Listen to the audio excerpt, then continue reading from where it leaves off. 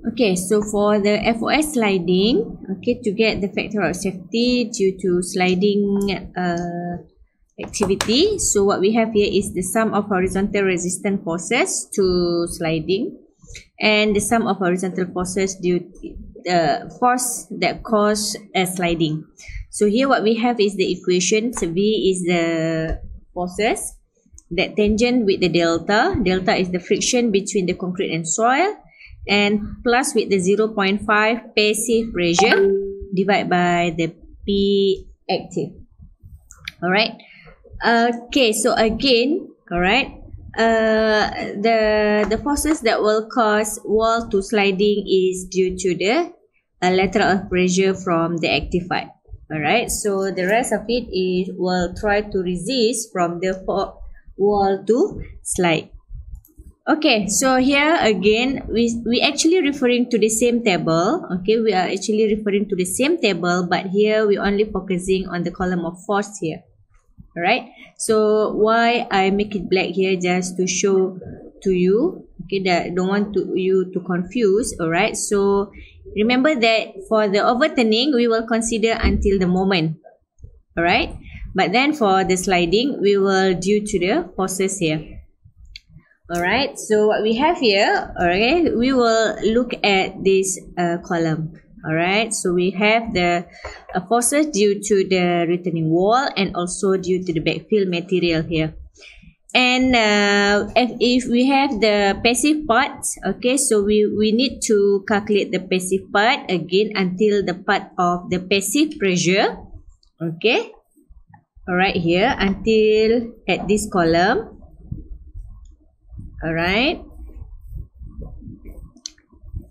and then uh, with times with 0.5 here.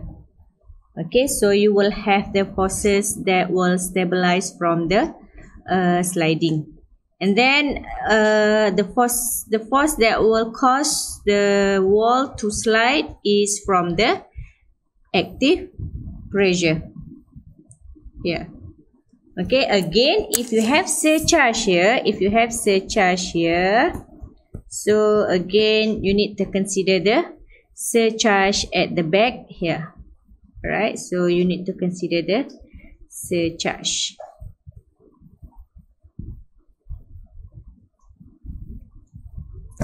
Alright, so in this case, since there is no surcharge, so only due to the uh, this uh, only triangle shape, okay but you have the surcharge you need to consider the surcharge.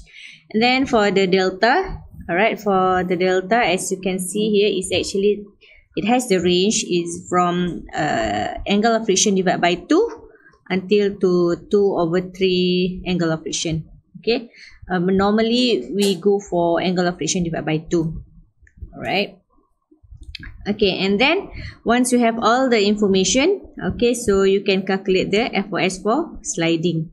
Alright if you have inadequate maknanya unsafe condition so what you need to do whether whether you increase you increase the base of the uh, returning wall okay alright or you use the base key here. Alright so by using the base key here what you have is actually you increase the passive resistance. Alright so you need to get you need to calculate the passive part until the depth of the uh, end of the uh, base shear base key here. Okay at the end of the base key here. Alright so this is how we improve the factor of safety. Okay and then for the bearing capacity, all right, so we must ensure that the uh, foundations of the wall, all right, the foundations of the wall must design it to certify the ultimate state in terms of the bearing. Okay, so the maximum pressure usually occurs beneath the toe. Okay, and this value maximum must not exceed the allowable bearing capacity. Alright, this max here must not exceed the allowable bearing capacity. So the distribution of the ground bearing pressure can be in a trapezoidal or triangular shape. So how we determine that one? So first and foremost, you need to determine the positions of X. So how to get this X is the M stability minus M overturning and divide by the total forces. So we have the X value. So we need to locate the eccentricity. Alright, what is the uh, locations of the eccentricity. So this is the equations of the eccentricity that the B is the size of the base. Alright, so this is the B. Alright, this is the B. Okay, so B over 2 minus with X. So look at what is your value. Alright, if you have the E is less than B over 6, so the distribution will be trapezoidal in this shape.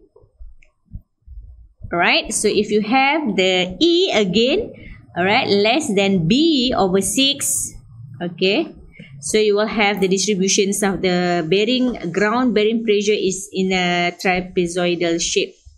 But if you have the E is more than B over 6, you will have the triangular distribution pressure. Okay, like this. Alright, so now in this case, alright, so what we have here is that E less than b over 6 alright so you will have this kind of distribution pressure. So at this point this is the q max. So what we want to calculate here is the q max. Alright so this is the equation to get the q max. Alright so this is the forces that we get from table in the sliding part. Alright and then this is the base size. And again just just substitute this equation eh? 6 this is the uh, from the sliding forces and then this is the eccentricity E alright? And then it is the B over square so this is the value. Alright? Okay so then we need to compare what is the Q ultimate or Q allowable for bearing capacity of the soil alright with the Q ground bearing pressure that we just calculated. Alright, so if the Q ultimate is not given, alright, there is no information. So what we can do here, we can use this equation, but then we ignore the depth of the uh, embedment part. Eh? Kita ignore this part.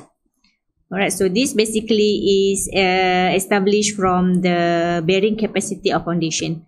Alright, so when you use this equation, we only take this part but then remember if you have the C value cohesion so we need to consider the cohesion.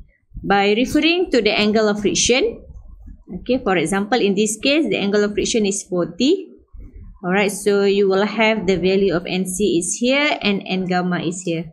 If you want to use that value. Alright so in this case that the C equal to 0 so you can ignore this one Alright, and also we ignore this part. So what we have here is only this part half times with B, gamma, and gamma.